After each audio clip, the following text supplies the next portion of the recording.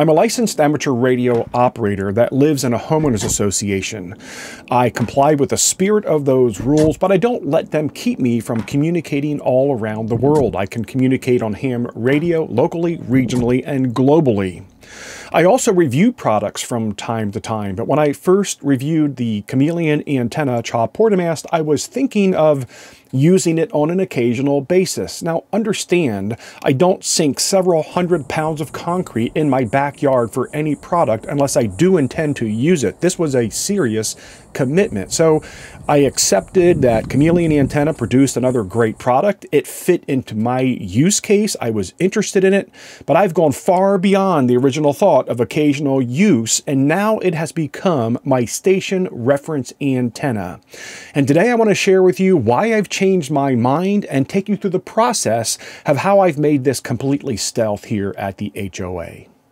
Some people that have watched my videos on the CHA Portamast so far have said this makes sense to them even if they don't live in an HOA. For those of you that think this might have application and you do live in an HOA, the first question you must ask is, does my HOA permit the permanent use of flagpoles? And if the answer to that is yes, this might be a good fit for you. Now, I already had a 73 foot end-fed stealth in my yard. It went out to the front road over top of a sidewalk, so it could be seen by people. So I've decided to pull that down and take the wire backyard up to my CHA portamast. It just makes it that much more stealth. But to make it completely stealth, I can't take my CHA Hybrid Mini in this case and put it on a CHA spike and put it in the ground because then it's visible. And then I've got to worry about my lawn guy running it over. So I chose to put it in this utility box.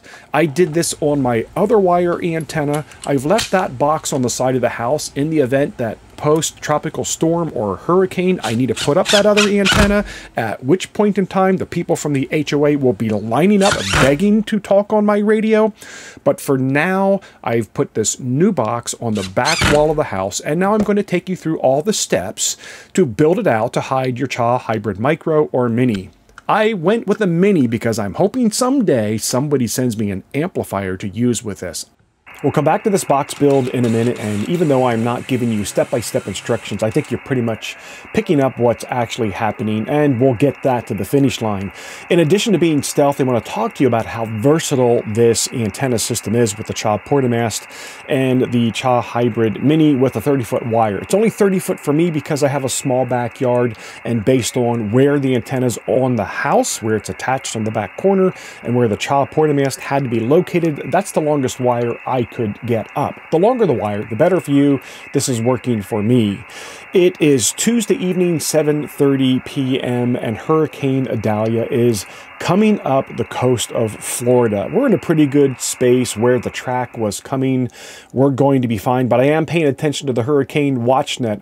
I've got my FX4CR dialed into 14325, and the Hurricane WatchNet is occurring right now. I'm listening to a local repeater system, NI4CE. It's a connected repeater system of five repeaters here in the Tampa Bay area, and we have a Skywarn net control going on there right now, and then I've got my SDS 100 scanner. So um, we're in a safe safe place. The back windows are boarded up because the storm is going to blow at us pretty hard from the south, wind coming from the south. So we're protected. And I'm listening just in case there is some event that I need to be aware of. That said, I needed to pull down the CHA portamast and I needed to get that 30 foot wire put away. Let me roll a clip in here and show you how I pulled that off. This is how versatile it is. So just go into the backyard, you can see that I quickly take down the portamast. It's a interlocking system and you just twist and uh, lock as you're extending and unlock and twist as you're coming down. Let's respectfully put that flag away and once that's done, come back and grab the CHA portamast and just pull it right out of the in-ground concrete sleeve. Let me spin the camera over here and show you what I've done in this utility box. I have taken a chameleon winder and I made sure there was room in the utility box to put the winder. And I've cut a slit in the bottom side of this box. So once I wind up the 30 foot wire and I put this winder back into the box, I can just leave the wire attached to the CHA Hybrid Mini wrap it around the box, tuck the winder in place with all the wire. When my storm passes, which will be probably sometime by midday or late day tomorrow, I'll be able to put up the chop mast and my wire again. It's just reverse these steps and instantaneously I have a flag flying in the backyard and a stealth antenna mast. So it's stealth and it's versatile. That's what I like about this setup.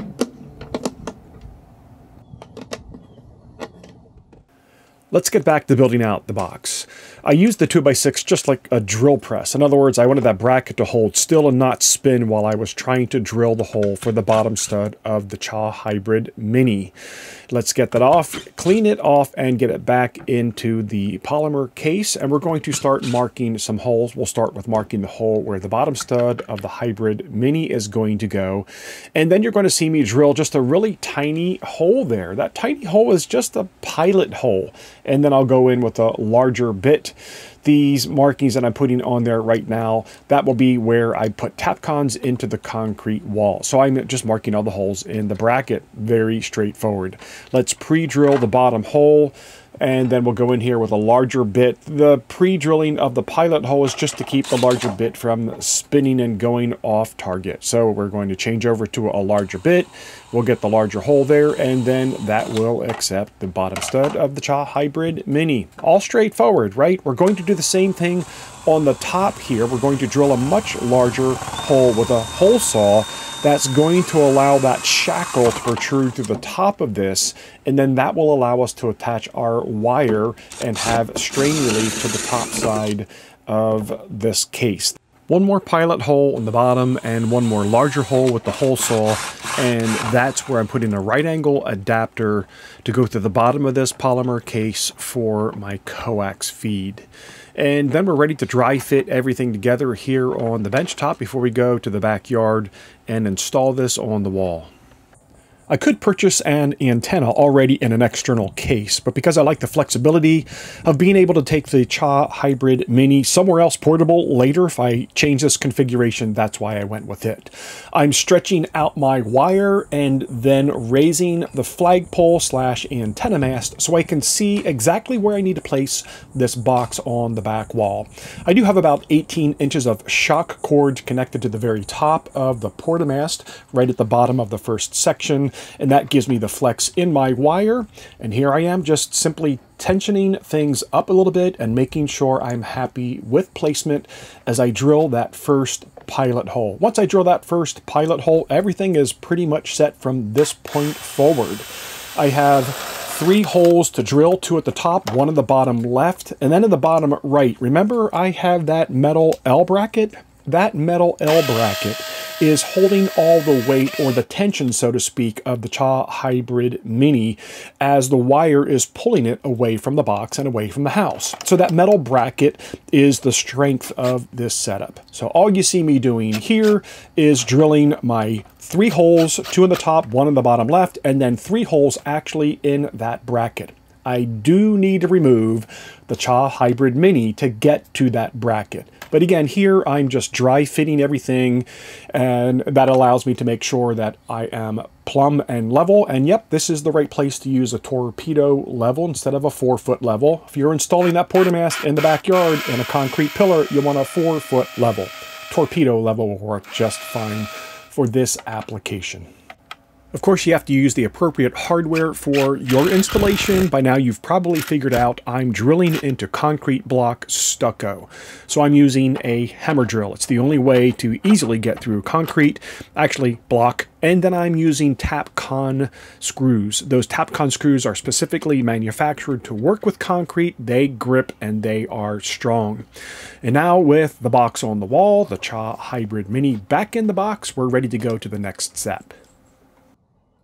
Here we are next day after I've had a chance to sleep on my antenna installation, and we'll talk about what else I did, but first there's a mystery black box with a chameleon label on it.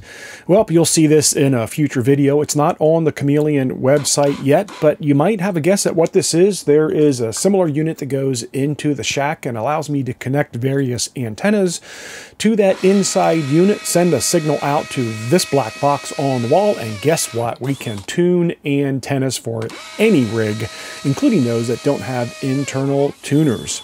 Stay tuned for that video to come. As I slept on my antenna install overnight, I realized there was room in this outside utility box to add the winder. That wasn't part of the original plan. It just worked out that way, and now that you know it, you can actually plan for it. So you're going to see me in a second cut a slit in the bottom left-hand corner of the plastic box once I open it up. And that allows me to take my wire, leave it connected to the CHA Hybrid Mini, and keep it on the winder and not have to disconnect anything. So I can wind it up on the wire and I can just loop the wire a little bit around the outside right edge of the box, close up the box, and it's good for any time I have inclement weather, i.e. category 3, category 4, category 5 hurricanes coming my way and I want to take my flagpole slash CHA portamast down or I want to take the CHA portamast to a POTA activation or for field day. So it lets me tidy things up here in the box and be completely self-contained. I can wrap this up in a matter of minutes, and when I go to set up again, I can take the winder out of the box and be set up again in a matter of minutes. And that's what we'll show you here next. With the Chameleon test unit attached to the wall, now I just need to swap my cable around so I can operate this tuner from the shack. I'm using my FX4CR, which is a tiny handheld transceiver. It goes up to 20 watts. It does not have an internal tuner.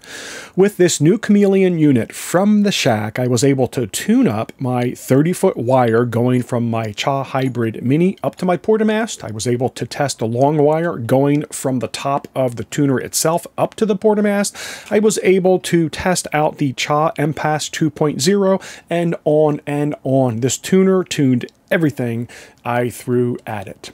Remember to make sure that you always waterproof any of your coax outside, and that's what I'm doing now with this tape that just stretches and seals everything off so that you make sure you don't get any water intrusion into your coax and really mess with your SWR. I'm going to go through the breakdown one more time, and to set it back up, it's just the reverse. They were a mirror image of each other.